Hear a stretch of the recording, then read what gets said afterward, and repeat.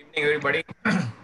Uh, on behalf of uh, Janssen, uh, I welcome you all to this uh, instructional course uh, program. This is uh, completely focused on uh, upper limb.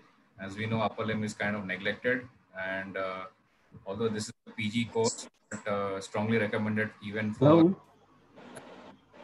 yeah, even for others who see patients in their clinics.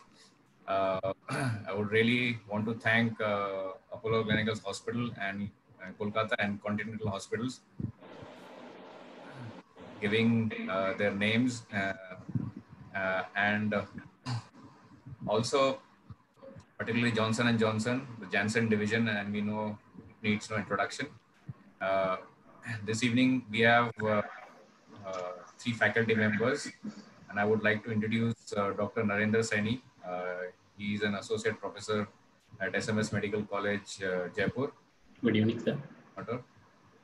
And uh, is a dedicated hand surgeon, the same unit I used to work, and he's a brilliant surgeon. And uh, uh, I, I, he's my personal favorite when it comes to hand surgery. He's a wonderful orator. He's very popular amongst his students. And uh, he'll talk about uh, hand examination. It's a vast subject. Uh, he'll try to introduce uh, the basics. We also have uh, my dear friend, Dr. Deepti Nandan Reddy. Uh, uh, we have bonded over many years. We think alike, we laugh alike, and we also pull, our, pull each other's legs. And he again has spent many years in England, and he's a fantastic upper limb surgeon. And he's a brilliant surgeon actually when it comes to shoulder, elbow, and hand. Uh, I learned a lot from him, and he's presently at Continental Hospital, uh, Hyderabad. And I am Dr. Abhikar. I am a shoulder, elbow, hand surgeon at uh, Apollo Gleneagles Hospital, Kolkata. so uh, the talk is going to be instructional course lectures. So we'll start with Dr. Deepti Nandan uh, Reddy. Yeah, we'll take questions immediately after this talk. In the meantime, you can keep uh, putting up your questions and uh, we'll try to answer it as soon as the talk finishes. So we would like to have the questions of the elbow uh, during the elbow talk, uh, the hand during the hand talk, and the shoulder. So we'll start with shoulder, elbow, and hand. Dr. Deepti, over to you.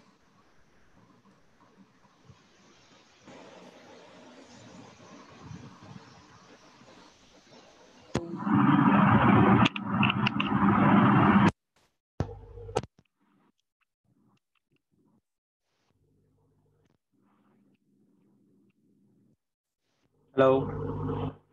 Hello. Sir, share your screen and start. I can't. Sir, share your screen and you can start.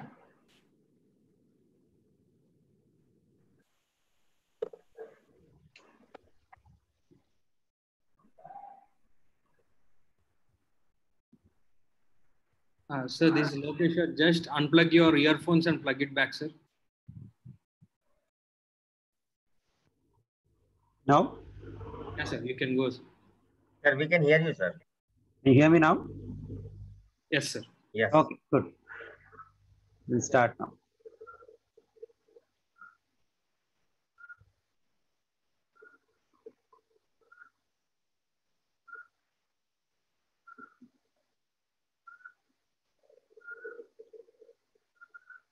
Yeah, can you see that? Is that clear? Yeah. Okay. Now, shoulder examination is um, always from our MS times has been shown to be uh, one of those difficult things. And many a times, even today, they don't uh, show us how to examine the shoulder. That's one of the problems which has been in our MS training, actually. But in the, of the last uh, maybe five, 10 years, that has improved because of uh, increased awareness of the shoulder. And I'm just going through various scenarios where you will uh, you will be able to diagnose simple things in the shoulder. I'm not going to very complex stuff, but highlighting the fact that it is very important to be uh, thorough in your examination. So examination, as you all know, goes through look, looking for contour changes on the joint, wasting, scars, feeling, uh, with tenderness and always examine with one finger for tenderness because you'll not be muddled with uh, where the pain is coming from. Movement always active and passive. Muscle testing is very important in the shoulder, especially the rotator cuff muscles and neurological examination for motor and sensory because no shoulder examination is complete without examining neurology of the upper limb.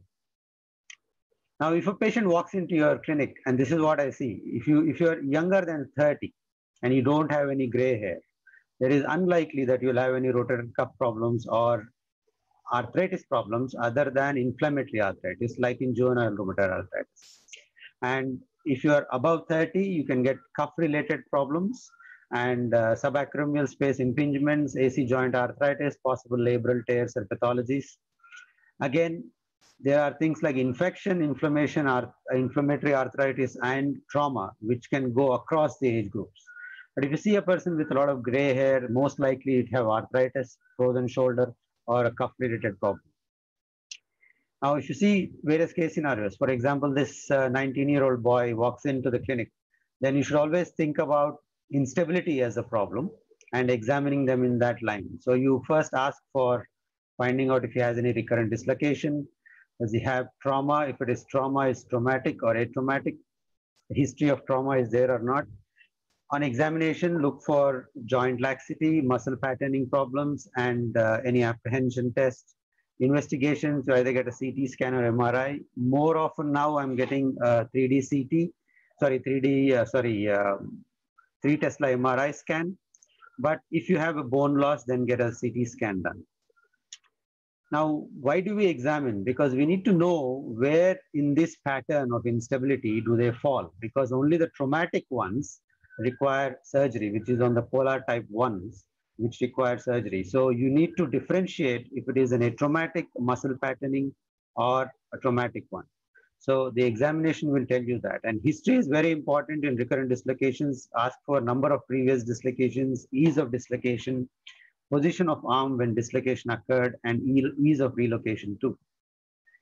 Arm dominance, occupation, and recreation are very important in these because these are uh, useful in decision making in surgery especially if you have a high contact sportsman and you have instability, then you may look at a more uh, solid bone sort of reinforcement procedures rather than just a soft tissue procedure. Now this gentleman, he, sorry, I just, all my, this thing went haywire. Um,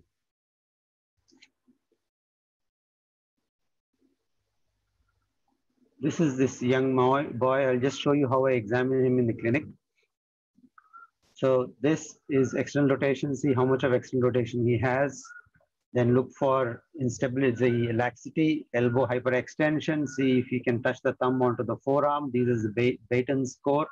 And look for um, hyperextension of the little finger, which is more than 90 degrees. Then look for apprehension, where you stabilize the scapula, index finger on the head of the humerus, external rotate, ask if you feel that there is any feeling of instability. Now at this point, you see he's telling that there is likely to come out.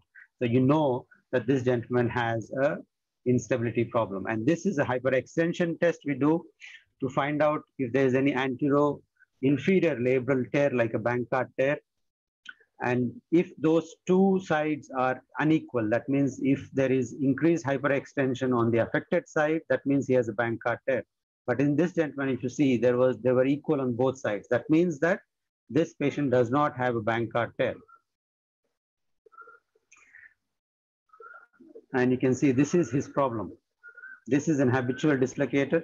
He keeps dislocating his humeral head forward and backward. And that's because the pec major is overacting. So in these patients, you need to get physiotherapy to improve the prevent the contracture of the pec major and improve the scapular muscles. This is other gentleman, if you see, very important to check for scapular uh, movement when you look for instability. So this young boy, you see, has a problem with how this scapula, the left scapula, moves when he's getting his arm down.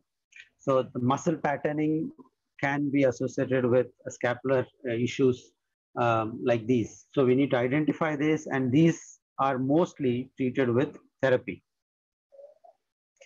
Look at a painful shoulder. Now we have looked at instability as a shoulder. Now we look at a painful shoulder. A painful shoulder can be either painful, which is intermittent, or constant. If it is constant, either bursitis or infection. If it is intermittent, mostly a cuff pathology. And the other box in which you can with these patients is either painful and stiff shoulder, which could be either a frozen shoulder, glenohumeral arthritis, or a post-trauma sequelae. We'll go through this uh, as we go through the presentation. Or it could be a painful and weak shoulder. It can happen in a cuff tear, a pseudoarthros, pseudoparalysis, or neurological causes of weakness in the shoulder. So this case scenario of a 64 year old gentleman with painful shoulder with inability to lift the arm. So it's a stiff and a weak shoulder. So history taking again, open-ended questions. Where is the pain? Is the stiffness there all the time? And if the stiffness can be improved with uh, support with the other arm is what to check. And if there was any history of injury and if there is any pain in movements in all directions. Night pain is something which is there in most frozen shoulder patients and in rotator cuff patients. 80% of rotator cuff patients have night pain.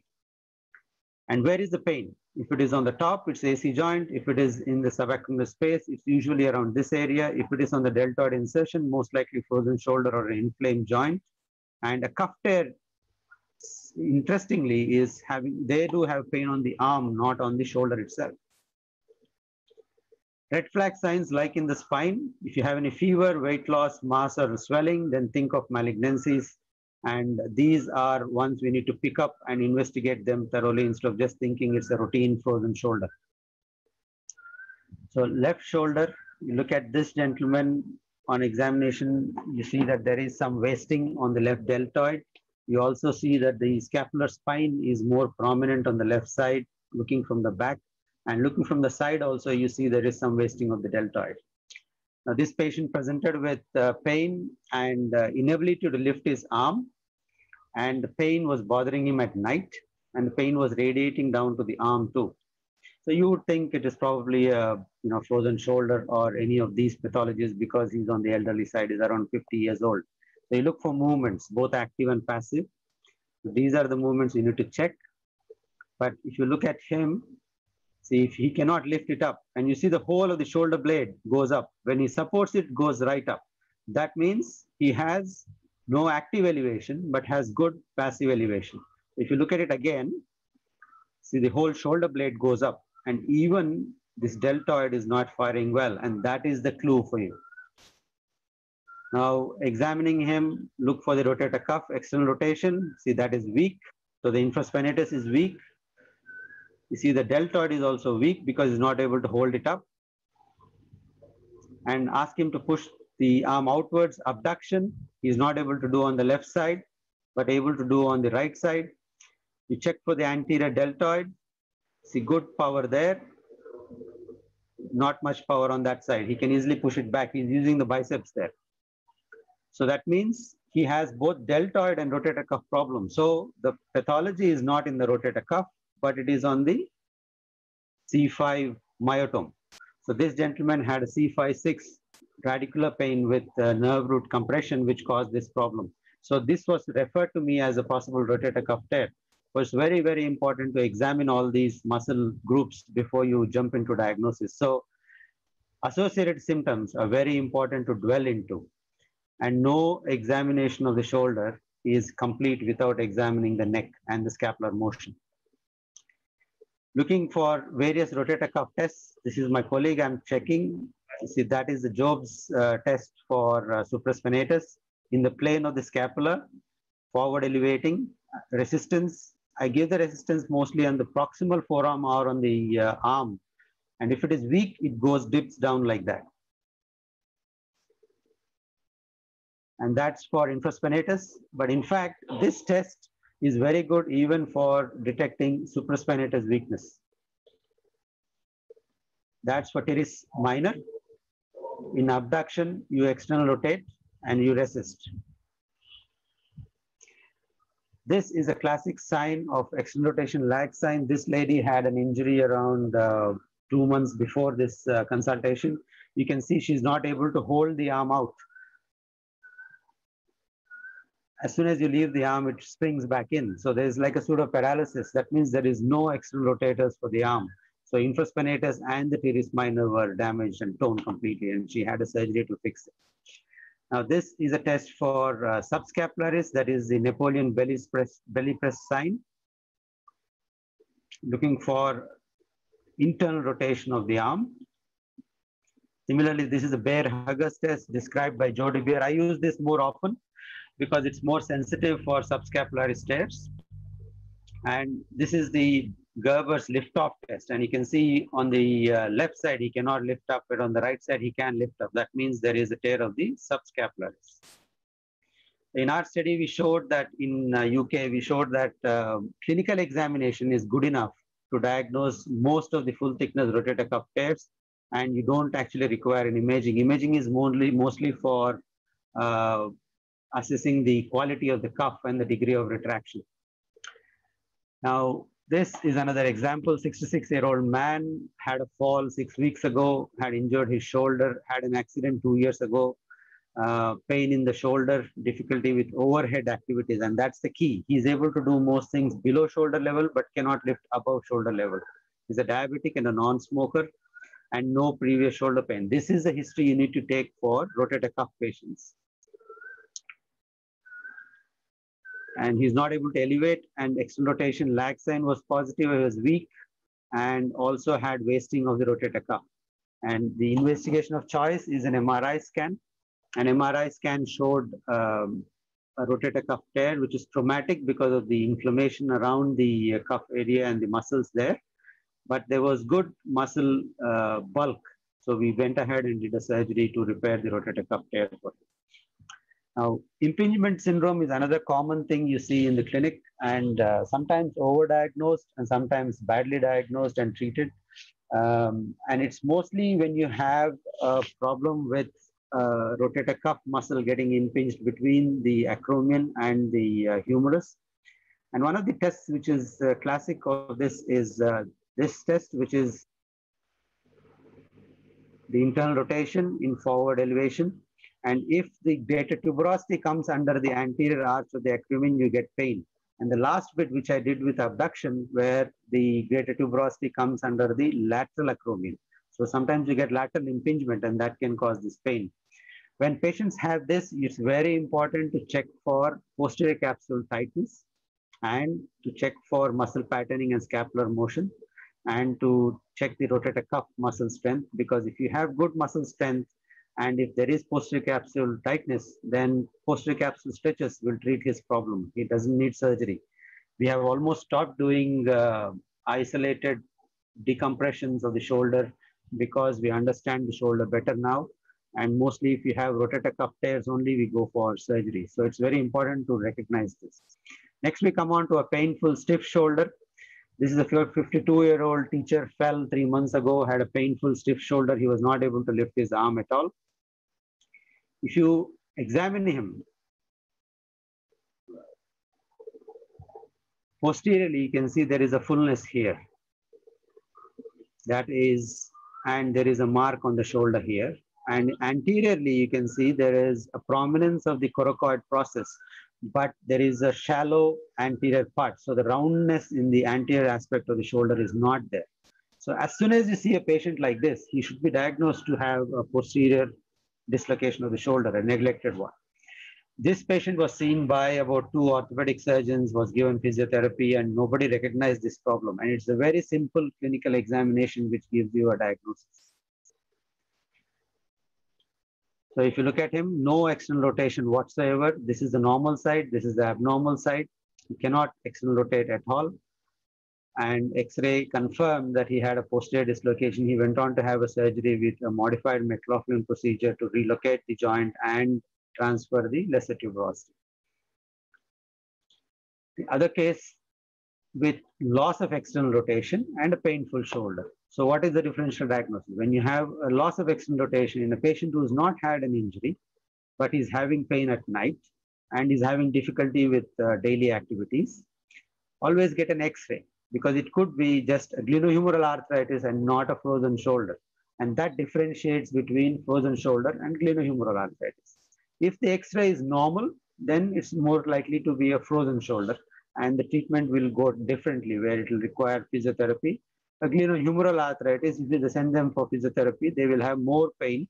So physiotherapy, active physiotherapy or aggressive physiotherapy is avoided in them. They mostly require a joint replacement at some point of time. This patient had a fixation of the shoulder. He was 30 year old gentleman, had wires put in to stabilize, not a great fixation. Finally, he ended up with this situation. And if you notice on the x-ray, there is a drop of the shoulder here. That means there is a most likely chance he will have a deltoid palsy. If you look at his arm, there is uh, deltoid wasting and but in spite of the deltoid not being there, he was able to lift his arm up well. So just because a person can lift his arm up doesn't mean that they don't have a deltoid problem. He was using his rotator cuff to elevate his arm. So rotator cuff is more important than the deltoid for shoulder function is what I wanted to reiterate in this slide. This is another gentleman, 65 year old, painful left shoulder uh, with and pain disturbing sleep history of trauma six months ago, tender on the greater tuberosity. So you would be thinking in lines of uh, a possible rotator cuff problem, but get an X-ray done in all of these patients and you'll be surprised uh, the number of times I've picked up these lesions. Um, so don't just go by history and uh, yes, history and examination will give you 95% of most of your answers but sometimes you get these outliers. So get a simple X-ray done in most of these shoulder pains and you will not be surprised. He had a chondroblastoma. So if somebody has a pain here, think about glenohumeral inflammation or frozen shoulder. If somebody has a pain there, think about AC joints. So don't even need to touch them before you diagnose these patients. So if you keep your examination simple, keep it methodical, you can diagnose most of the problem. See, this is another example of uh, a gentleman who came to me three months after the fall, arm completely fixed in internal rotation. The whole arm is twisted backwards. And what he had was a malunited, posterior dislocated proximal humerus, which I had to fix, uh, de osteotomize the whole tuberosity and the shaft and everything else, and then derotate the whole thing and fix it. So clinical examination is more important, and you should corroborate your clinical examination with some valid investigative points. Thank you.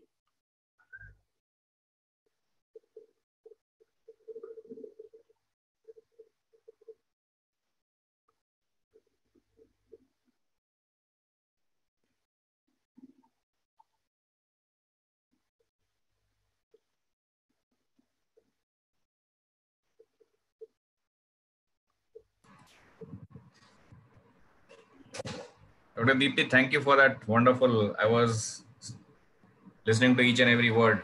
And so I learned a couple of tricks there, especially the fact that you mentioned that now we are doing online consultations. Yes. the patient points to those painful areas. It's very easy. That clinches the diagnosis many a times. Yes. So I, I completely agree. This lateral arm pain is one of those things where the cuff is definitely uh, involved there. so uh, uh, the common problems with the postgraduates, they they probably they're getting a lot of these questions about uh, uh, rotator cuff uh, tears and and they, this this is I don't think so. They get any short cases because mm, you mentioned about tumors. That is one area they usually get these cases. Yes. Yeah especially chondral tumors, I think, because they are very slow growing tumors. so, what do you do in such cases? You treat them or you kind of refer them? If it is, uh, we do a biopsy, and if it is showing there is any uh, malignant changes, I refer them. But I had a few patients where there was a chondral tumor in association with a rotator cuff tear. So those I uh, curetted the tumor and then did the rotator cuff repair at the same sitting. I have about four of them like that so far. Um, if it is uh, malignant, I just send them over to uh, oncologists, the oncosurgeons. So the audience is requested to put up the questions on the YouTube comment section so we can go through it one by one. uh, can you tell the postgraduates one muscle, one test? Uh, because they don't want to get consulted. So we have cuff four muscles. What would you recommend?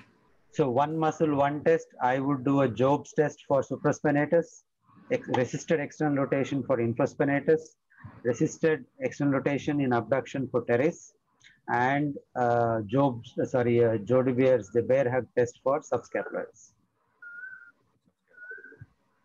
How often do you find uh, cervical, like you mentioned, a very beautiful case there, shoulder. Uh, do you examine the cervical spine in each and every shoulder patient? Yes, I do. All And of them should have a range of motion, you know, checking, and I also do a Spurling's test on them. Spurling's actually picks up uh, radicular pain very well. So people who don't know what swelling test is, uh, it's uh, you. Uh, you can explain that. Go to the- Basically, you uh, put axial pressure on the uh, top of the head, but also uh, extend and rotate it towards the side of the pain. For example, if you have uh, compression here on the left side, you external rotate and then you press downwards. So if they get pain and tingling down the arm, that means there is radicular pain. That means there is pressure on the exit route of that particular nerve root. And um, many times I picked up this, you know, when you're doing the simple test, you don't need to do any fancy test for that. And that, that often cooperates with the MRI scan. Uh, I, uh, I remember seeing one patient of uh, uh, supras, uh, su- suprascapular entrapment.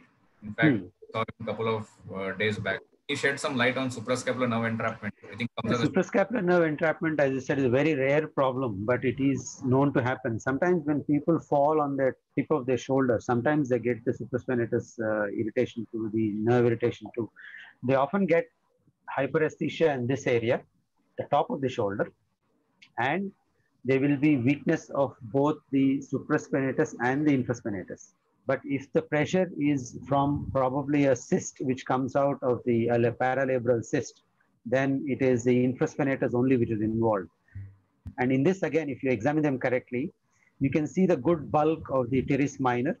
You can see the good bulk of the supraspinatus, but the infraspinatus selectively is hypoplastic. Means under the spine, if there is an emptiness, and that clinches the diagnosis of a paralabral cyst with suprascapular nerve compression and uh, uh, infraspinatus wasting. And in those, MRI shows the normal rotator cuff. Uh, another question. One of my registrars asked me once, sir, uh, you have a proximal humerus fracture. Sir, how do I examine the axillary nerve? I mean, uh, this guy comes in pain and he's swelling. So what do we what do we write in our clinical notes? It's very, again, very simple for me because if you see a proximal humerus fracture, even if they have a proximal humerus fracture, one sensation part you can check by touching the regimental badge area. That is one thing. Second thing is if you put your arm on the elbow here, like for example here, and ask them to push back outwards, and then you feel for the contracture of the muscle. If you can feel the deltoid contracting, that means the axillary nerve is intact they don't really need to lift the arm up. They just need to try and push against resistance and you feel for the deltoid contraction. I think feeling for deltoid contraction is very good test. Yeah. That's a very interesting uh, clinical examination point because they keep the, the notes are always empty. Axillary Yeah. nerve function could not be examined. Examined, yes. And later you're in soup. yeah. Uh, so it was a wonderful talk. Uh, I, I'll start with my elbow talk. Uh, again, uh, clinical examination of the elbow.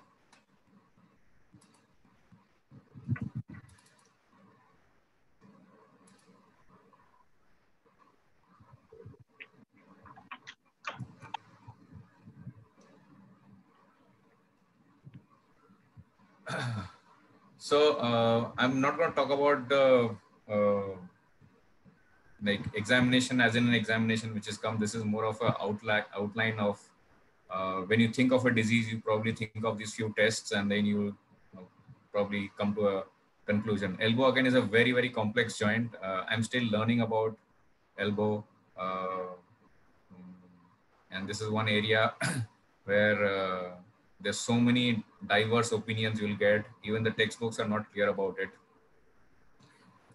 and uh, the only thing which we um, probably have been hearing since our PG days was uh, tennis elbow. And look at the list of the probable elbow diseases.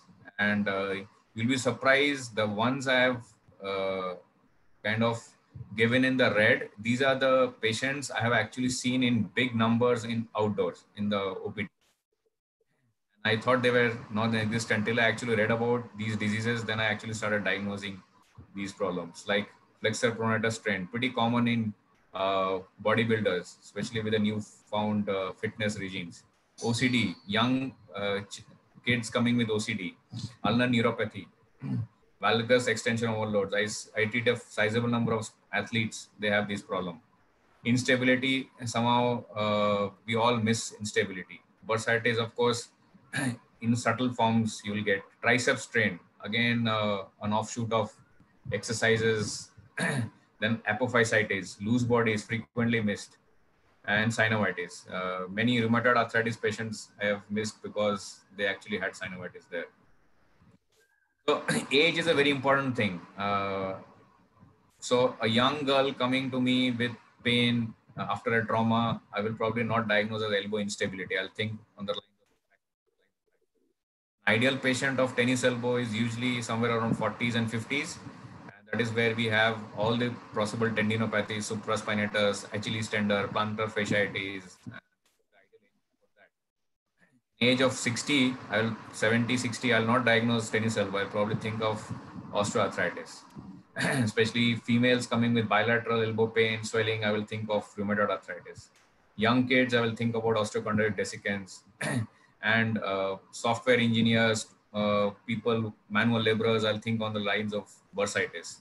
So age is a very important factor when we think of a disease. In history, what are we looking for? We are looking for uh, whether it was a one-time episode of fall or was it a repetitive injury, like somebody playing tennis, somebody playing golf, or uh, even drivers, uh, they have to frequently shift gears and use the steering wheels. the sense of instability, uh, the patient does not come and tell you exactly that, you know, my elbow is unstable. It pops out, pops in. They usually have a very kind of a subtle feeling, and it, the feeling is of more of, they'll probably uh, identify it as pain. They will not identify as instability. The gross instability, of course, they will obviously uh, mention, but subtle instabilities are in the form of pain. And then, uh, if you uh, have a patient with bilateral symmetrical elbow pain, they'll think on the lines of inflammatory arthritis. I've had patients of ankylosing spondylitis, which I initially diagnosed as medial epicondylitis, and they actually were patients of enthesopathy. Similarly, anybody having morning stiffness, like you know, more than one hour, uh, will probably have some inflammatory arthritis. Not necessary that they have bilateral. They start with one elbow, then go to the other elbow and other joints.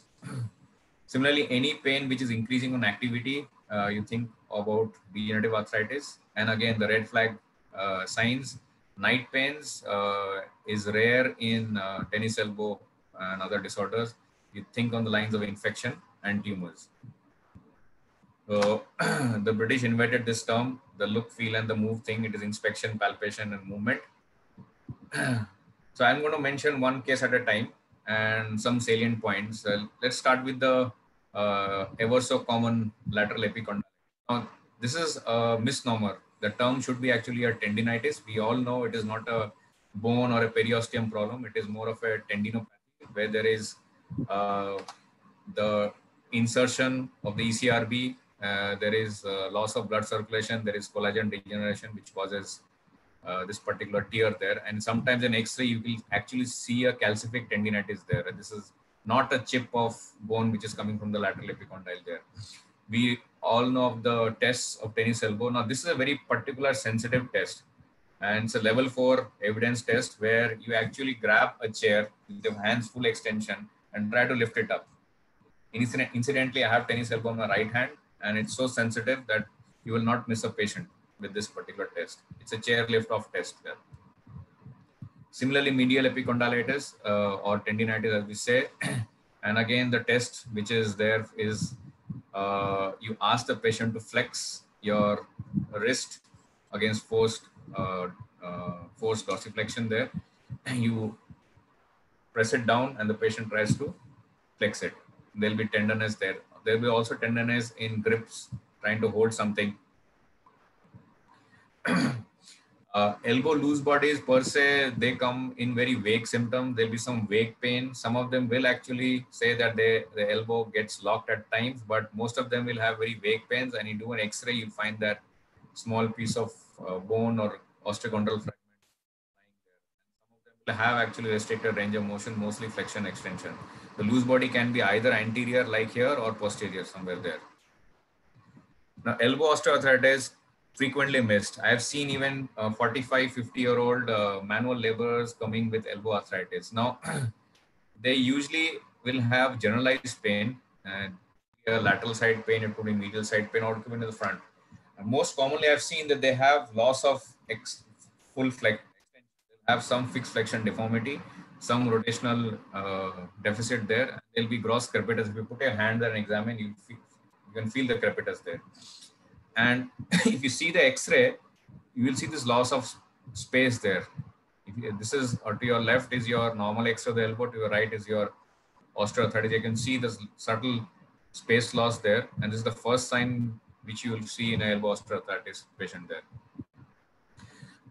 Parallel to this is your rheumatoid arthritis patient. And uh, these again, if you follow the rheumatological associations classification, you have to have those points before you diagnose a patient with rheumatoid arthritis. Again can present as tennis elbow, like I said, and they'll have morning stiffness and they'll have deformities, specific deformities there. And the thing in the X-ray to look for is there's gross destruction of the elbow uh, in a rheumatoid arthritis with pretty well preserved function. You'll be surprised at the amount of function they have even with such destruction. And in an osteoarthritis, you will see these large osteophytes, but more or less you will see a preserved joint architecture there. Like here, you will see the complete loss of architecture there. You will see the preserved architecture there. So this is just a fun fact. Uh, you might uh, want to try this out. If you pinch your elbow right there, it doesn't hurt much. So this is one of the most insensate areas of your body. So we'll now go towards overuse injuries. Uh, we'll talk about impingement, tendinitis, apophysitis, and bursitis. Now, this is a very common thing. if you are treating sports people, athletes, especially badminton players, tennis players, and uh, fast bowlers, um, all the fast bowlers, pitchers, uh, they usually have this uh, pain there, and it, typically they'll point towards the posterior part, posterior medial part. This is where the impingement happens and this is due to valgus extension overload. And this is a test. You, this is those are the milk test, and you'll see the pain there uh, on the posterior medial part, and there will be subtle opening of the joint here. And in the X-ray, you can actually see an osteophyte at the posterior medial corner, and this osteophyte in the lateral X-ray will look something like this. I'll I'll show you an osteophyte of a traction apophysitis. So you know the difference there. So any young athlete uh, throwing uh, a thrower, uh, tennis player or badminton player, or even somebody into a heavy uh, gymming, uh, you should think of valgus extension overload, also known as posteromedial impingement. On the similar lines, now this is what an traction apophysitis is. especially if you're doing too much of triceps exercises, you will see this big spur there, right there, and look at the difference. The posteromedial impingement, the spur is somewhere. This is not actually posterior; it's posteromedial. So then a lateral X-ray looks like this. So this is the difference between these two. If you see these two different spurs, you'll know that this is posteromedial impingement and this is traction apophysitis. a few inches higher up, you can see sometimes a calcification, a tenderness in this area. Again, athletes will complain of pain, not at the tip of the olecranon, but probably an inch and a half above that. And sometimes it causes an avulsion there. This could be a calcified tendinitis or it could be a piece of bone avulse from this part there uh, due to vigorous exercises. So young patients think of the, on this line. Even some uh, uh, adults uh, can have, uh, especially elderly people, when they have falls, they can have this avulsion fractures there. Now this is a no-brainer, swelling at the posterior part of the elbow. And of course, it's a boggy swelling, you know, this is there and this is bursitis. Of course, you need to do a, a blood uric acid level because many of these patients have yeah, some of the diabetic patients and uh, I have found this in many of these uh, patients undergoing dialysis. Uh, many of these people have it and they could be infected also and some of these dialysis patients because of immunocompromised status they don't have high fever another fun fact uh, this is a question for you. Is elbow punch allowed in boxing or not? Uh, it is not actually allowed. You can actually block yourself. You can actually uh, push but you can't use your elbow to knock somebody out. So this is a disqualifier there. But of course it is absolutely allowed in martial arts there. Now again, ulnar neuritis. I've seen ulnar neuritis being misdiagnosed as even carpal tunnel syndrome. and uh, if you actually take a proper history, many of them will have some overuse uh, activity elbow. And the classic pattern of paresthesia is right here along this line, and you'll have all the signs of ulnar neuro neuropathy there. Of course, the diagnosis would be if you do a Tinel test there, you will see a Tinel sign positive there, and you can do an NCV to confirm the diagnosis. So when you're when you're giving a prescription NCV, please mention it to the technician that you're uh, thinking the lines of not just uh, carpal tunnel, also the cubital tunnel syndrome. Again, frequently missed. Uh, I have seen many patients, especially people doing heavy work, especially masons when they're using their hammer, people using screwdrivers and all, factory workers, they come with vague pain in the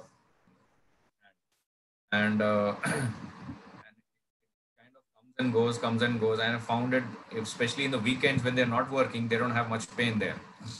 And this is uh, classically because of the hypertrophic pronator mass. The uh, you can, as you can see, the median nerve goes through these two heads of pronator and it gets compressed there. So you'll have features of uh, carpal tunnel syndrome. Again, uh, this biceps uh, rupture is either seen in uh, young patients who are into extreme bodybuilding or in elderly people because of some sudden pull and jerk. They have this uh, injury there.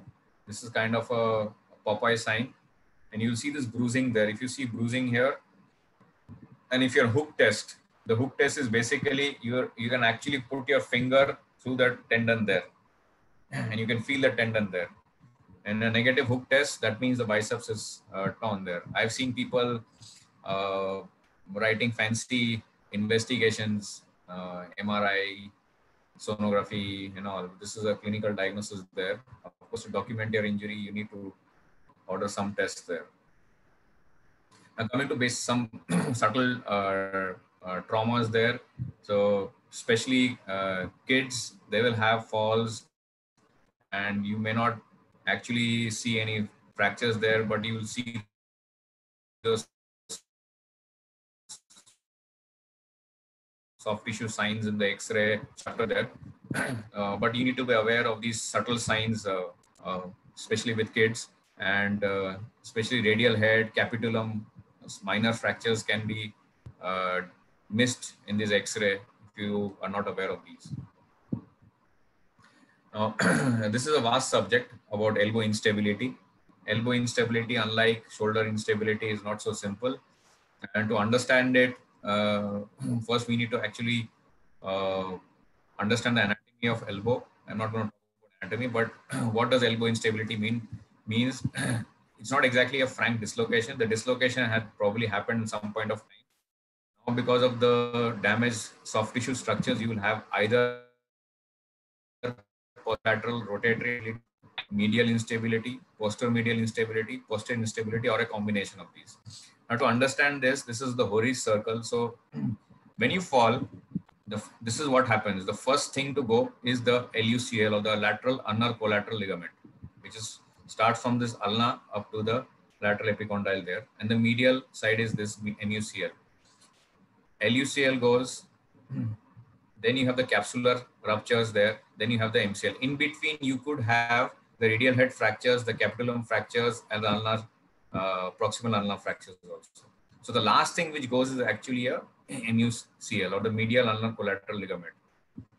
And this happens on the fall of the outstretched hand because of the axial compression there. And most, the commonest uh, pattern is usually the PLRI or the posterolateral rotatory instability. Now, what are the tests for elbow instability? this is the push-off test for elbow instability. Your hand needs to be completely supine. And when you're trying to get off of the chair, the patient either will complain of pain or actually can, you can actually palpate a click there. Uh, you can actually palpate a click. The radial head comes out and you can actually push it back therein. Uh, this is a examination which shows a classic MCL tear, which is a chronic MCL tear.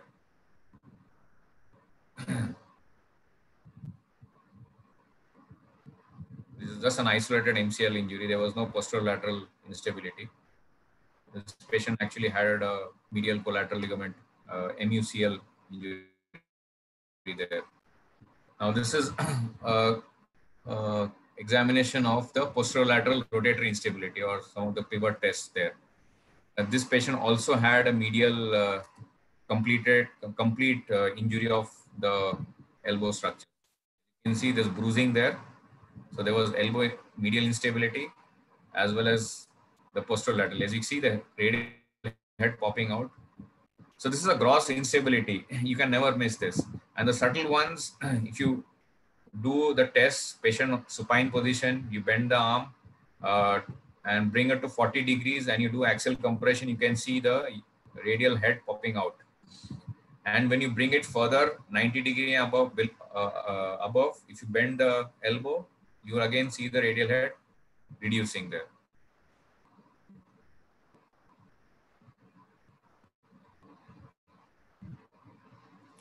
So don't miss this bruise. Any elbow trauma, look for the medial side bruise, which is a hallmark of medial collateral ligament injury. I'll just uh, touch on these rare disorders, uh, which we need to be aware.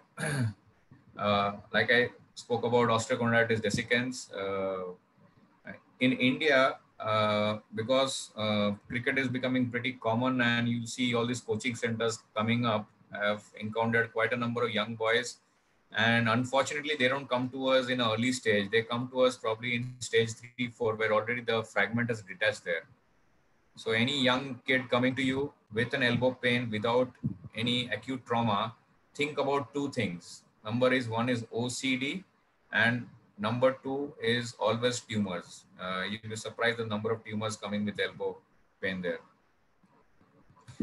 again uh, if you have low grade fever swelling, redness, uh, night pains, think about the line of septic arthritis or infected uh, bursa. Missed a patient of septic arthritis, a young guy, um, no fever, uh, continuous elbow pain. The x-rays were normal. And after seven days came up with huge swelling there and had a frank septic. And this was because he was on steroids there. So this is a, patient uh, again uh, had giant cell tumor was treated for many months uh, with simple physiotherapy exercises and this was not as big as it shows now. So it was a tiny giant cell tumor which has progressed to this side. Again a classic examination case. Uh, most of the pg students will encounter this uh, and uh, many of you won't know what a gunstock deformity is. they know, but they don't know what a gunstock looks like. This is what a gunstock looks like. A pretty famous weapon you'll find in the heartlands of UP and uh, Bihar. And this is what it looks like. and uh, an X-ray would probably, you can see this angles there. So cubitus varus is a favorite short case in uh, examinations there. Also a short note there.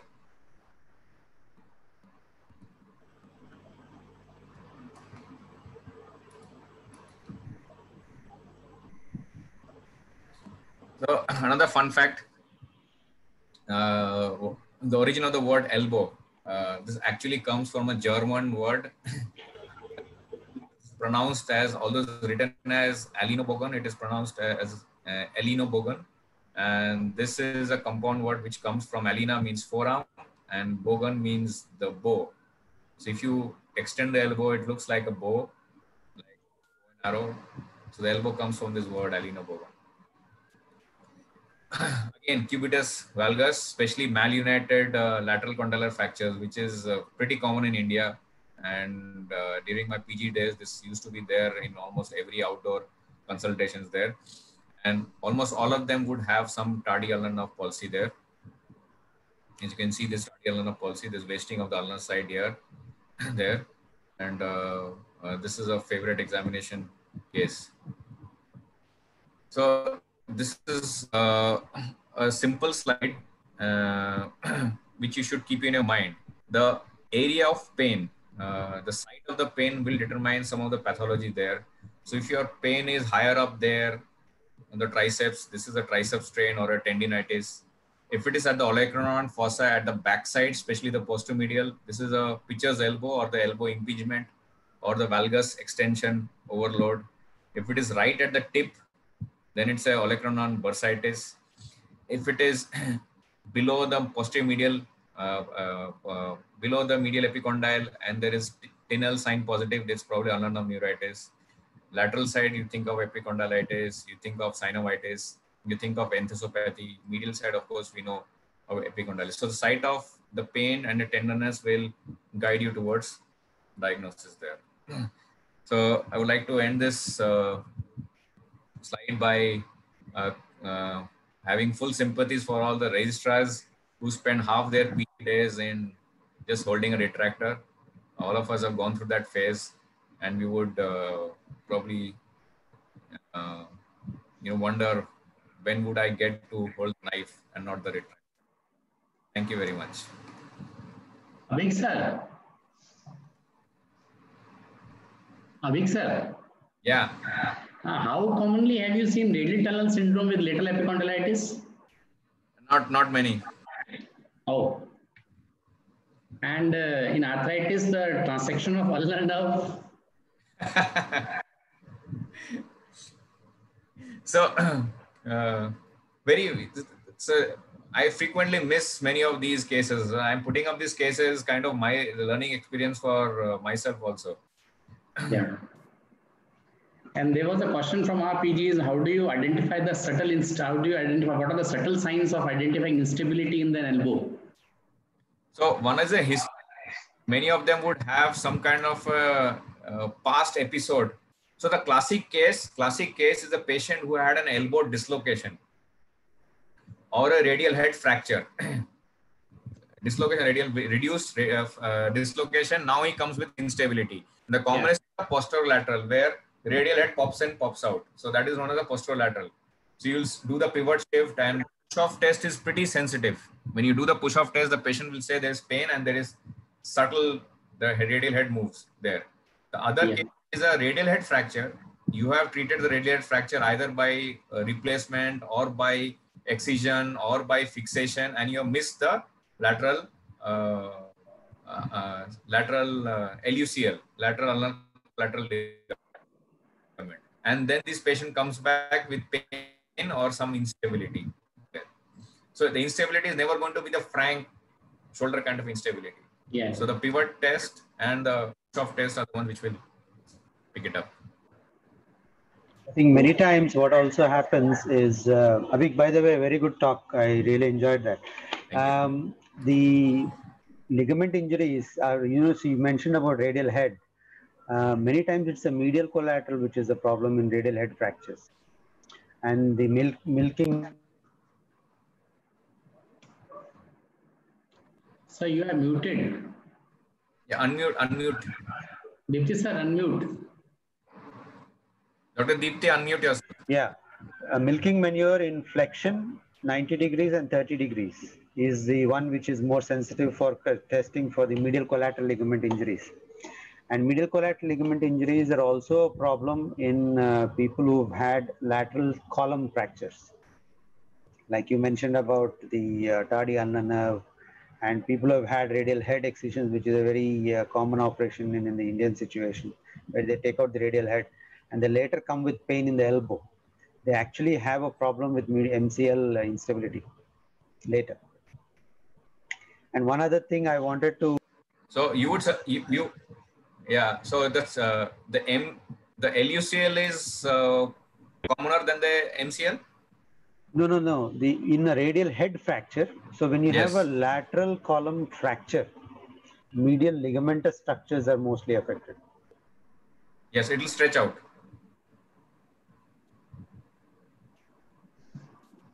I think we have lost connection with sir. Uh, he'll come back again. Yeah. In the meantime, you can uh, share your slide. Yes, I'll start in the meantime. So is it visible? Yes, you can see. Yeah. So I'll be talking on hand examination and we'll be uh, talking specifically with the perspective of uh, what cases come in an exam. So normally the hand cases are short cases and the most commonest case you are going to get is of, of a nerve injury, amongst which the radial nerve injuries are the most common, followed by ulnar nerve and median nerve injuries. Very few times if a plexus patient is present, he may be kept as a short case. Other common cases including Volkmann ischemic contracture or radial club hand or Madelung deformity or a malunited lower end radius, they may also come in exam if they are available. Whenever we start with a short case, we start with a brief history, trying to seek the reason why the patient has come to us for treatment. We all know, we all check for pain, swelling, power, deformity, and loss of function, but this loss of function becomes very important when you are examining the hand. In hand, we should know that pinch and grasp are the two main important functions that are performed. And these we have to keep in mind that perform the 90% of the hand function. So while we are taking history, we have to see which points are affecting his pinch and grasp, and that will give us a good idea about his ADL. Like in all other examinations, we proceed stepwise. We look, feel, and move. We inspect, palpate the skin and bone, go for a soft tissue palpation, look for range of motion, perform a good neurological examination, give a special test, and then examine any related areas which are of our concern. The most important point of inspection in hand is to have a proper exposure. We should expose the patient from the cervical region to the tip of the fingers because a good exposure is going to give you many subtle clues which we will be talking in the talk. In inspecting the skin on the palm, you have to look for various creases. We are not going to go into the names of these creases. We have to look for any swelling, scar, and zones of flexor tendons. In alignment of the hand, we have to see whether both axial and rotatory alignment. So in axial alignment, we should observe that the line passes from the uh, mid, middle finger to the second metacarpal and into the hand. So if there is any loss of this axial alignment, it could be because of any deformity, most probably like the example I have shown here, it is because of the rheumatoid deformity. The rotatory alignment is quite subtle. If you can't, you will, won't be able to identify it the fingers are kept extended. So whenever you flex the fingers, all the fingers, the nails are going to point towards the scaphoid tubercle. And whenever there is any rotatory malalignment, this will become quite evident when the fingers are flexed and it will be known. In inspection, we have to look at the peaks and valleys in the hand. Now, these peaks and valleys and arches of the hand are formed by short muscles of the hand, and any wasting of these muscles, these peaks and valleys will be lost, and we'll having an idea that we are dealing with some neurological problem.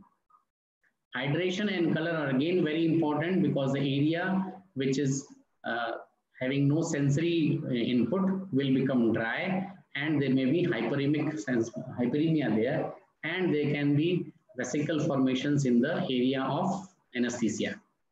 It is always good to compare both sides so that we can see what deficit is there. Like in this case, you can observe that on the right side, there is deficit in the hypothenar muscles and there is clawing of the little finger. It is very important to know the thenar eminence and the hypothenar eminence for any atrophy. And this is a very good method of comparing the both sides of thenar and hypothenar eminences. Then on dorsum of the hand, we have to look for intermetacarpal spaces, first web space, knuckles of the MP joints, then look for nails, eponychial folds, and any swelling. In skin palpation, we should remember that skin on the palmar side is quite fixed with the underlying septas. It is there to hold and grasp the objects, where the dorsal skin is mobile and thin. The skin of the fingers is also fixed with Grayson and Cleland's ligament, and these ligaments are basically found around the neurovascular bundles. The base is formed by the Cleland ligaments, and the roof is formed by the Grayson's ligament. Then look for dryness of the skin, which is a sign of denervation. We have already talked of it. Look for any warmth, abscess, or tenosynovitis. Look for any scar, wound, or sinus. Then move on to bony palpation. Start from radial and ulnar styloids, move on to scaphoid tubercle, pisiform, hook of the hamate. Then move on to anatomical snuff box, looking for fullness and tenderness there. Metacarpals for any tenderness and swelling or any instability. Then move on to phalanges, looking for IP joint instability or any hypermobility. Now, once you have done this, you have to see the movements. The hand movement should be very synchronous. And if, if there is any loss of synchronicity, it could be because of the problem with the joint or the problem with the tendon and the nerve. So this will give you a good idea when the movements are affected. It is a good point that we should keep record of what movements we have seen so we can record the movements of the wrist and fingers individually so that in follow-ups we can see them. Finally, we come to neurological examination. So neuro neurological examination of the whole upper limb should be performed starting from shoulder, moving on to elbow, forearm, wrist and hand. And it should always be done in this sequence so that nothing is missed because many times the distally appearing things may have a proximal cause. In sensory examination, we look for touch, fine and crude. We look for pinprick sensations. If you have the facilities, you can check for temperature, two-point discrimination, both static and uh, moving, which will give you the uh, quantity of the innervation density. And then you have, for a quick test, you can look at the autonomous zones of the median ulnar and the radial nerve. So the autonomic zone of the median nerve will be on the tip of the index finger, of ulnar nerve will be on tip of the small finger, and on radial nerve will be on the dorsum of the first web.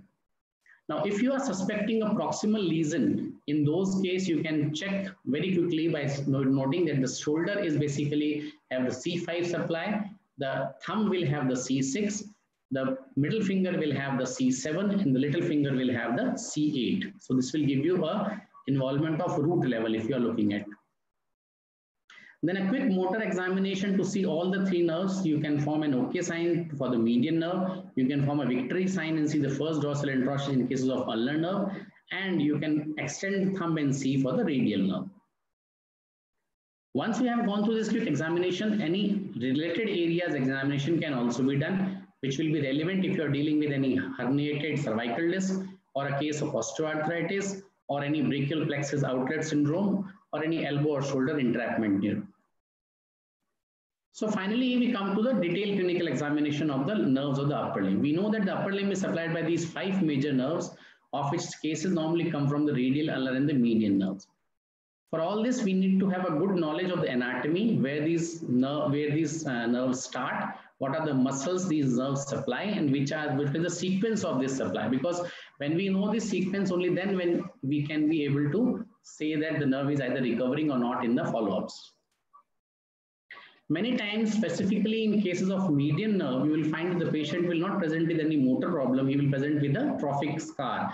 Because when there is a low median nerve palsy, normally the hand will be quite functional.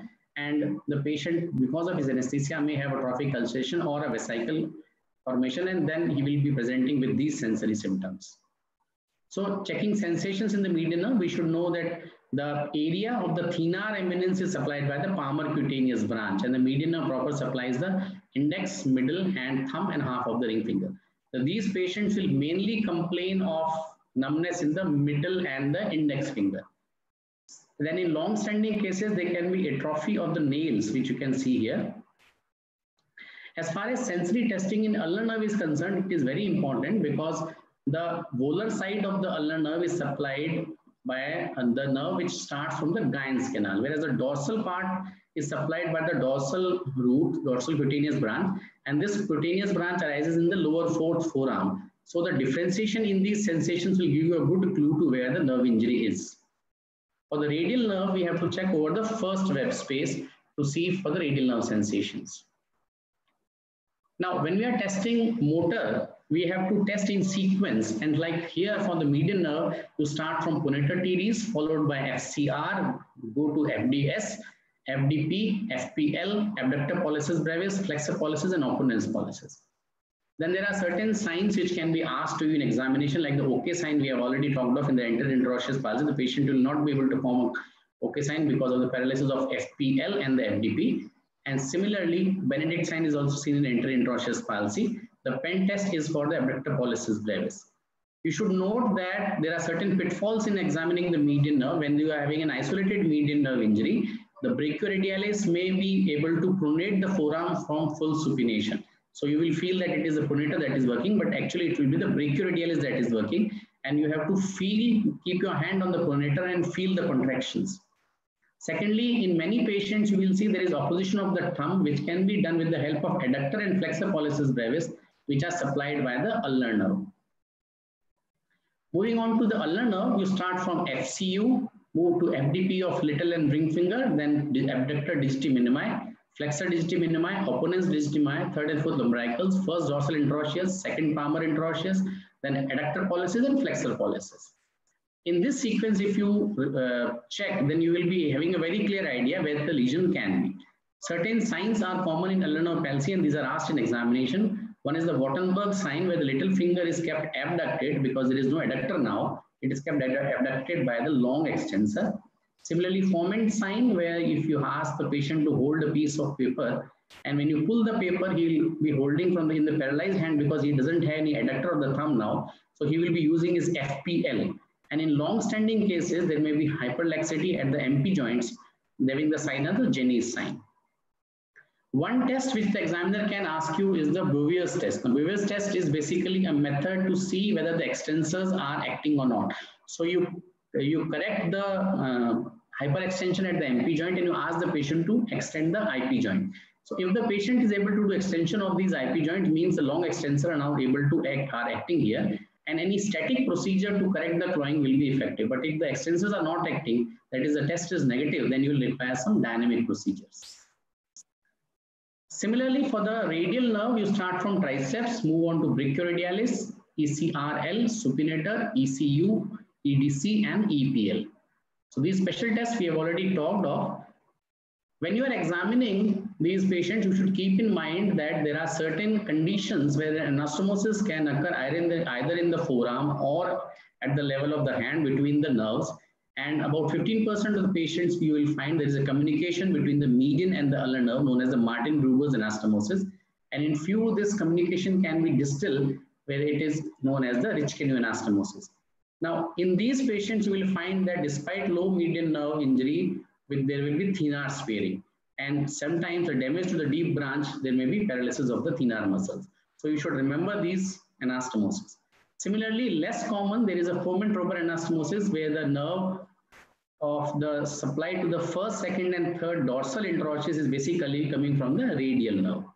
So despite ulnar paralysis, you will be seeing these muscles present then it is very important to observe and look at these telltale signs. Now, if you have observed this wound, then it will be very easy for you to explain why this is occurring.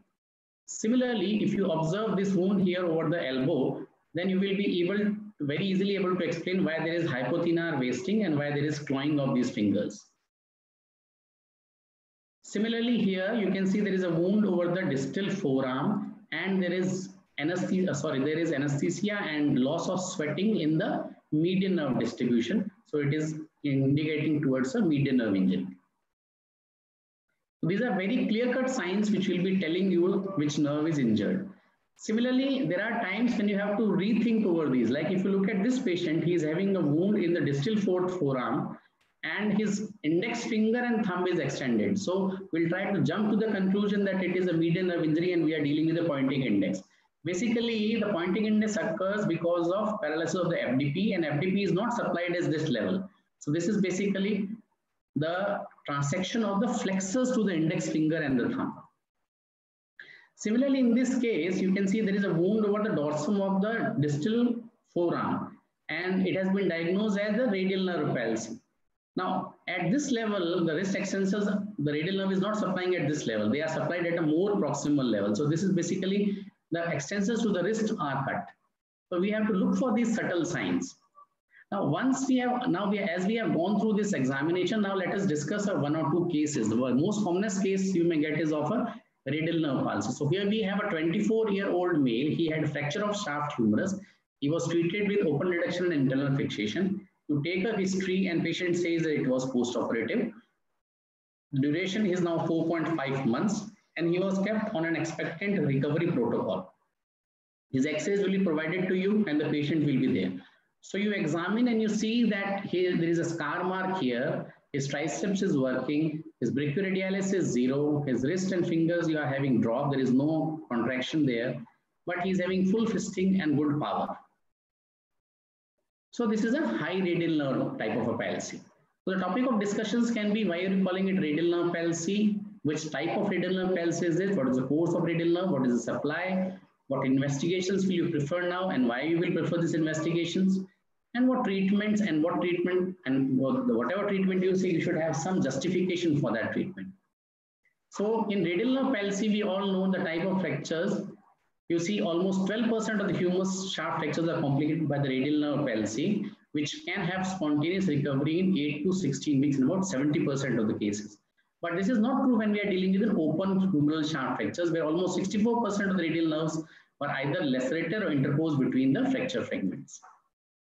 So there's an algorithm that is being given. So if you're dealing with a close injury, you keep it or an open injury or multiple injury. In close injuries, you can observe and nowadays you have ultrasound to see the continuity of the nerve. If there is any entrapment or if there's any break in continuity, ultrasound can identify it as early as three weeks before you can do any nerve conduction studies. In open wounds, it is better to explore the nerve if you are having a radial nerve palsy.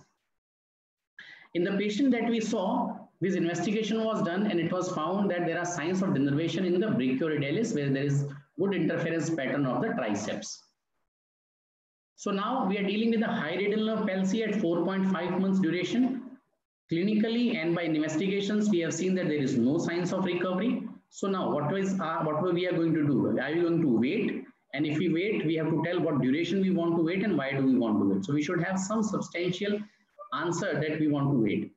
Then if we say surgery, then we have to say whether we'll be exploring it or we'll be directly going for tendon transfers. If you explore, what do you expect? You will get something primary or you can put a graft. And if there is any situation where you have to put a graft, would you put a graft or you will go for a tendon transfer? Now, this is the thought process that will be going on in the mind of the examiner and the questions will be based upon these. In this case, specifically at 4.5 months, since it was post-operative, we uh, went into operate, we went into explore this nerve. It was found entrapped under the plate. The nerve was then uh, end-to-end repaired and fair enough at about five months he had recovery. Now look at this case. He's a 65 year old male. He's complaining of weakness and numbness in his little finger, weakness in his hand and the duration is about one month only. Now in the previous case, we had a very clear cut evidence of injury where there was scar, where there was a post-operative condition. Here there is no scar. The patient has suddenly presented to you. By looking at this hand, it appears to you that it is an ulnar nerve injury. So you have to find out where this where the problem is occurring. Now, when you examine, you see that the power of flexor carpi ulnaris and thenares is good. Even the power of FDP is good. Means all proximal muscles are acting fine, but all the distal muscles like hypothenas, the first dorsal interosseous, the adductor pollicis are having zero power. Then you go in to do sensitivity test, you find that there is decrease in sensation, but the volar sensations are better than the dorsal sensation. So here you can come to some conclusion that the lesion is more distal. It is uh, distal to the dorsal origin or the dorsal sensory nerve. And then you palpate the nerve along its course and you find that there is some tenderness in the Guyon's canal. So you come to localize by a good examination that somewhere in the region of the Guyon's canal, the ulnar nerve is getting uh, entrapped or it is getting compressed. You can get a USG done in these cases to find out and fair enough, when it was explored, it was found that there was a ganglion which was compressing on the ulnar nerve. And when you remove this ganglion and decompress the nerve, sure enough, the patient will have a good recovery. The other common cases which can come to us are the VIC, the radial club hand, Madelung's deformity, and lower end radius. Now in VIC, the presentation can be very varied. In early VICs, you may have a presentation where there may be no not much contractures, or the patient may have a very severe contracture, or a patient may have a very severe deformity. Any type of patient which is present of VIC can be given. So the brief salient points you have to take in VIC is what was the inciting event? What is, was it a trauma? Was it associated with any fracture, any history of tight bandaging or any history of manipulation? What was the duration of compression on the limb? What was the appearance of any swelling or blisters? What management was done at that time? See, diagnosis in this is often clear and the emphasis is basically on the examination and identifying these lesions you may be asked to define this deformity. What deformity you are seeing? You have to tell whether you have uh, having elbow status, the forearm status, the wrist status, the MP joint status. You may be asked to elicit the Volkmann sign because in some cases where this contracture is not very severe, Volkmann sign will be there. But if there is very severe contracture, you may not be able to elicit this Volkmann sign. You have to comment on the feel of the forearm and hand. You normally in these patients, since it's a vascular insert, there is muscle fibrosis, the feel will be very hard then you have to do a good examination of the median ulnar and the radial nerve to find out the severity of the lesion. So Volkmann sign we all know basically occurs because of a fixed length phenomenon by these muscles which are crossing multiple joints. And as we have already talked, in very severe cases, you may not be able to elicit the Volkmann sign. Volkmann sign occurs because this muscle is crossing multiple joints. So whenever you flex the proximal joint, the distal joints can be extended. And when you extend the proximal joint, the distal joint become flexed. The additional information with the examiner want, would like to know from you is which muscle groups are functional and to what extent, because that will give you a clue to if there is any possibility of tendon transfers in these cases. Then what is the status of nerves? How severely they are affected? It will give you an idea whether neurolysis or a nerve reconstruction will be required. Then the skin condition, which will give you about the requirement of a flap. Then degree of contracture, the range of movements, the passive and active movements of all joints. Here you will be able to know that whether even splinting will be effective or we would have to go for something else. Then you have to shortly comment on the status of the bone, whether you are dealing with any non-union or malunion. Majority of these cases will have some type of malunion. So it may be required to perform an osteotomy or osteosynthesis. There are certain differentials to keep in mind when you are seeing a patient of VIC, like post-traumatic hematoma and contractures, osteomyelitis with involvement of muscles, pseudo-VIC where there is tethering of the muscles in the healing callus and you will have flexion contracture of the fingers, and in cases of burns. VICs are classified into mild, moderate, and severe, and you should know which type of patient you have got. The difference will be that in sensory changes in mild cases are very less minimal and there is no intrinsic involvement. Whereas in moderate type of cases, the involvement will be of the whole flexors with contractures, with involvement of the nerves and an intrinsic minus deformity. Whereas in very severe cases, even the extensors will be involved and the hand will be completely paralyzed. Now, there are very many controversies in the management of VIC, and this can become the point of questioning by the examiner. Like you can see in these two papers, we can see the controversy, whereas uh, Goldner believes that they should we should not wait and we should Uh, go for surgery as soon as the limb allows us. Tsuge was of the opinion that we should wait for five to six months before you do any surgery. So what are we going to answer? We should answer that the safe period of intervention is from three to six months. Now, examiner would like to ask you, why do you want to wait for three months? Then you can say that it is a time because at this three months, the yellow fibrotic tissue can, can be easily scooped out. It is soft enough and formed and it can be scooped out. And as far as the nerves are concerned, this interval is early enough to save the nerves before any irreversible entrapment takes place and late enough for the maturation of the muscle fibrosis before it gets stony hard. There are certain indications of early involvement in these cases, which can be if you have severe neuralgia or you have a soft tissue defect. The modalities of treating are basically conservative and operative. Conservative will be consisting of doing active movements, passive movements, then splinting, static and dynamic, and then doing a serial casting. The operative procedure will depend upon your type of involvement. If you are mild involvement, majority of cases will be responding to stretching and splinting. In few cases, only fractional lengthening may be required. But in moderate type of cases, flexor origin slide or fractional lengthening or shortening of the forearm, if you are having a deformity of the forearm or proximal row carpectomy, if the deformity at the wrist may be required. In very severe cases, when you are left with nothing, if there are extensors, then a tendon transfer or a free functioning muscle transfer may be required. Now let us look at this case. He is an 11 year old male child. He had a history of forearm bone fractures initially managed by bone setters.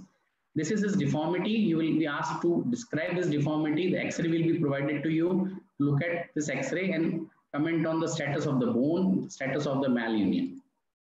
So the child with deformity, you have to define the deformity. You have to tell the cause. You may be asked to tell the grade. The Volkmann sign is presence with neurological examination, neuromuscular examination, and what were the treatment options. What will you do for malunion? Will you do a muscle slide in this case or not? Will you perform a neurolysis in this case or not? So let us see what happened actually in this case. In the first stage, the malunion was corrected with somewhat shortening and fixation so that a good healing was attained. In second stage, the neurolysis was performed to give this hand some sensation. Now, once some sensations are attained, you start on with gradually correcting them by putting these plasters and putting these plasters in intrinsic positive position and stretching on the fingers with padding.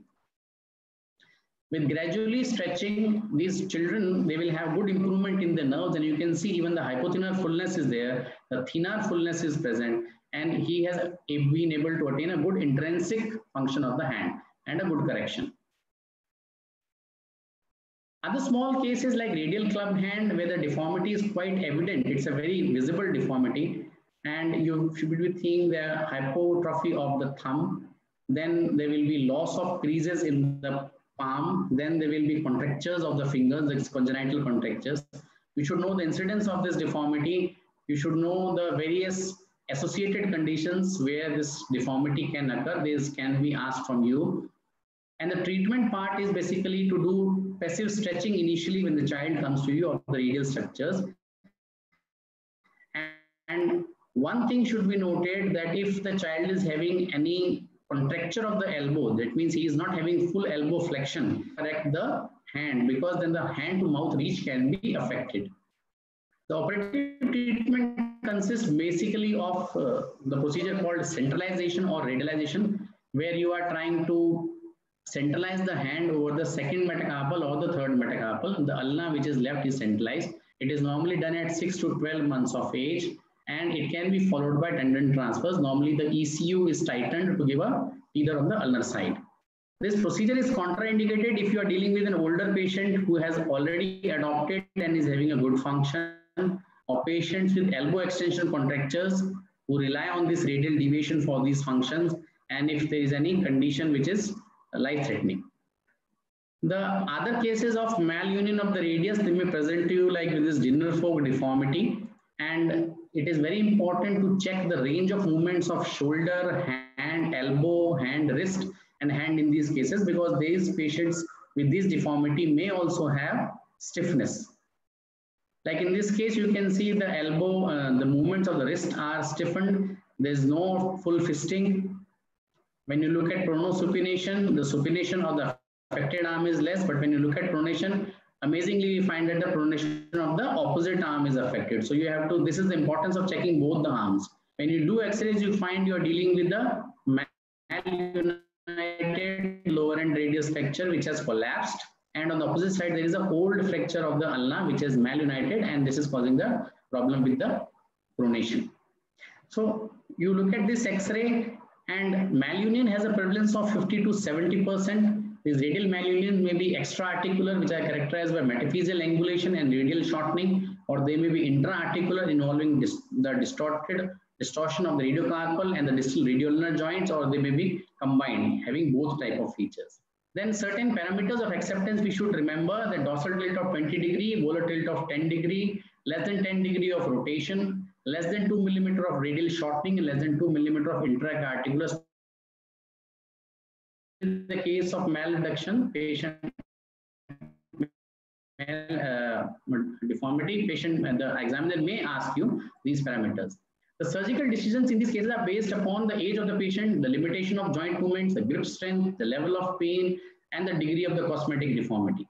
The intensity of these symptoms and the relative impact on the activities of daily living as correlated the radiographic findings will be the basis of our decision. Normally in young patients, we do a corrective osteotomy to bring the mechanism of the wrist and hand into a normal position. So we can do a corrective osteotomy, maintaining the radial height and inclination. And in older patients, when the wrist is well adopted, like excision of the lower end of the ulna or a Sauvé-Kapandji type of a surgery. Thank you.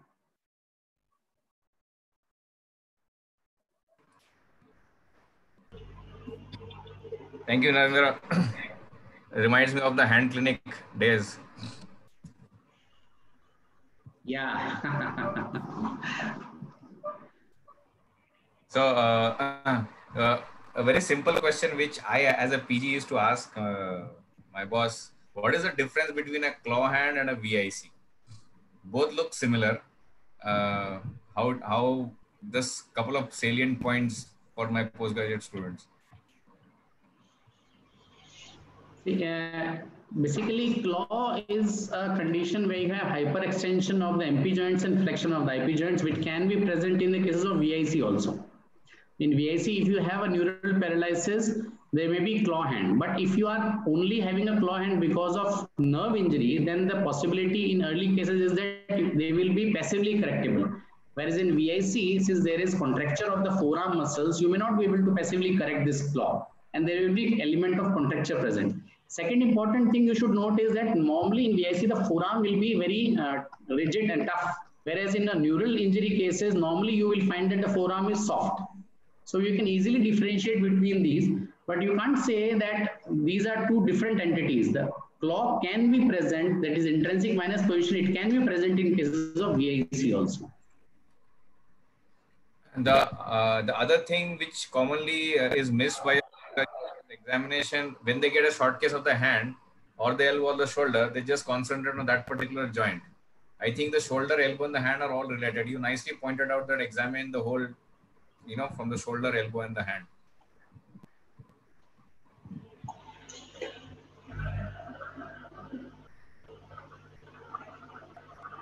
I've seen people when examining the cubitus valgus. Uh, Do we have any questions on this?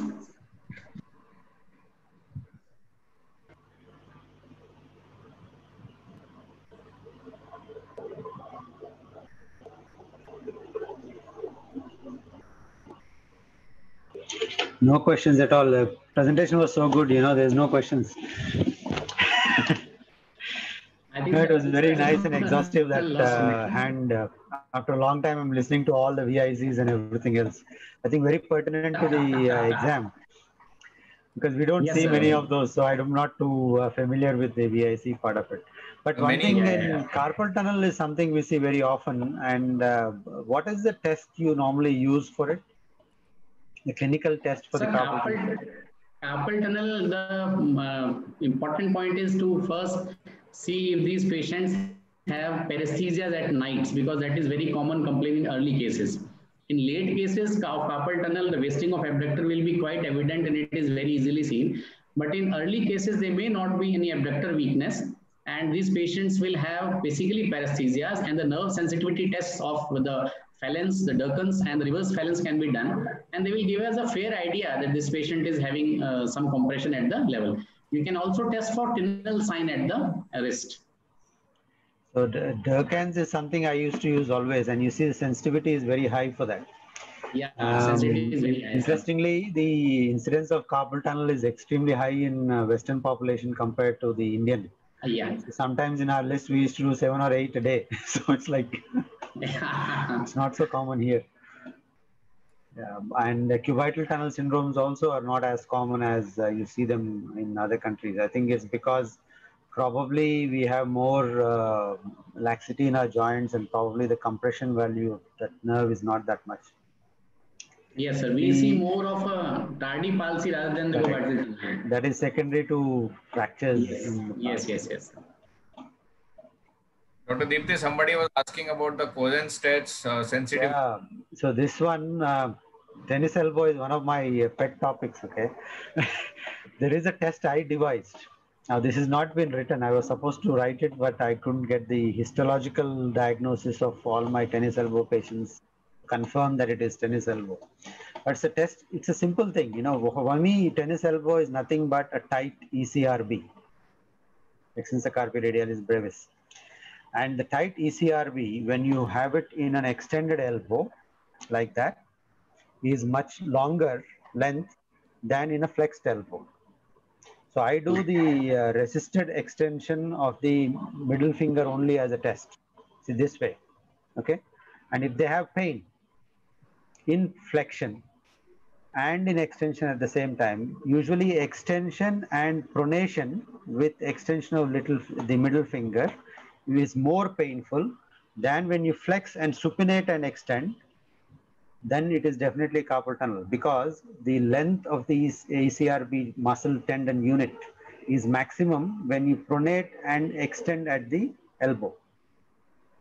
So if it is tight, that means that is when it is getting pressurized. And the other test is I, I you should check this, you know, with the extension of the elbow, check how much flexion you have on both the sides. Often the tennis elbow side is tighter than the other side. And unless this is improved, the pain will never go. So eccentric stretching of the ECRB is the best way to treat tennis elbow. And I think they get pain because it's a partial tendinopathy of the attachment. So the intact tendon muscle structure will get more loading because part of the tendon is degenerate and the whole unit becomes tight. So if the tightness is reduced, the pain will go. It's very simple as that. And we should always differentiate that from uh, plica syndrome or the lateral plica syndrome. There's a lot of emphasis on radial tunnel, but radial tunnel is extremely rare and um, it's very, very diff- sometimes difficult to diagnose, but it's extremely rare. There are hand surgeons which vouch by that, but I have not, I have not been too convinced by it, to be very honest. And the other test which you were talking about is that, uh, you know, the hook test for biceps. The way to do that is it is it is described by actually um, I think Shawn O'Driscoll shows, and you have to face the palm towards your face with elbow inflection and forward elevation of the shoulder. Then the biceps come into picture. That's when you can hang your coat on that. That's why it's called the coat hanger sign. You gave a nice picture on that, but this is where it is to be done. It should not be done like this because in a swollen arm, it's very difficult to examine it in this position. But if you supinate and face towards the face, it's very easy to hold it on. As a one interesting fact here, our therapist Sandhya madam noted in majority of the patients of uh, this uh, uh, Uh, lateral epicondylitis, they have weak triceps also. So when you are dealing with rehabilitation of these patients, you should strengthen the triceps. Unless and until you strengthen the triceps, this patient will not have good relief in their symptoms. No, it's not the triceps. If you if you look at these patients very closely, you look at the shoulder mechanics, they will invariably have a tight posterior capsule. If they have a tight posterior capsule and have loss of internal rotation this way, Yeah. when compared to the other side, that loss of internal rotation changes the shoulder mechanics and the shoulder mechanics are changed. You overload the uh, lateral aspect of the elbow. And sometimes you also get uh, de Quervain's tenosynovitis with a posterior capsule tightness. If you improve this, these get better. Uh, posterior tightness, Yes, posterior capsule tightness of the shoulder. shoulder, yeah. So you have to incorporate those exercises for uh, improving this function Yeah, also. that is quite worthy information, sir.